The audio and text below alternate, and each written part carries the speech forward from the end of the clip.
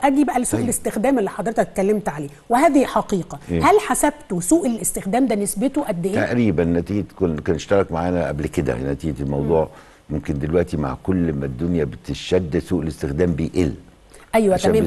حسبتوه قد إيه؟ آه، كان, وقت ما كان بشيلن. بخمسة ما- سعر آه بالتقدير الدراسات التي تمت ب- بلاش أسماء يعني شركات مع كان منحة من البنك الدولي لا تقل ما بين 10 و 15% طب يعني مش نسبة ضخمة يا لا سياده لا لا الوزير ده كبير جدا. لما أتكلم على 100 100 مليار وأقول 10% معناه 10 مليار 15% معناه 15 أيوه هو مليار. بيستخدمه في إيه؟ في استخدامه في العلف مثلا؟ لا بصي حضرتك بصي حضرتك سوء الاستخدام إن هو بياخد ال- العيش وسواء ينشفه وفي ناس بتروح تبيعه في السوق بعد كده. يعني سكن لا سكندري بس ماركت أساسا هو بي- بياخدوه مثلا ال 10 15 دي أكيد جزء منهم كبير بي- بيستخدموه في العلف بينشفوه بيستخدموه يستخدموه- العلف، طب صح. ما هو بيستخدمه بدل العلف الغالي وفي النهاية هو عائد عليه أيضا بس يعني هو الفراخ غالي يستخدمه برضه، بيبيع صحيح. الفراخ غالي. ما هو بيبيع الفراخ غالي هرجع لك للفراخ. بس هو بيستخدمه كعلف يعني آه، قصدي بس هو يعود على المواطن بس حضرتك عارفة إن الكروس سبسيدي أو يعني تعويض حاجة بحاجة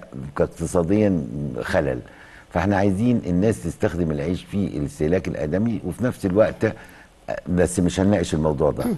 الحل وحضرتك ناقشنا هذا الموضوع من 2008 التوجه للدعم النقدي المشروط.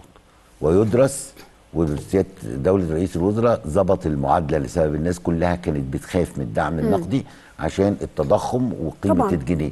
إنما هو قال ويتم ضبطه سنويا بم- بم- بمؤشرات التضخم وكذلك آه، معدلات زيادة الأسعار العالمية في السلع الرئيسية. يعني لما قال الموضوع قالوا محكم. يعني الهدف ليس آه، إن أنا أقلل قيمة الدعم تدريجيا مع الناس ولكن الهدف إن أنا أزود كفاءته. وحضرتك طبعا مفهوم.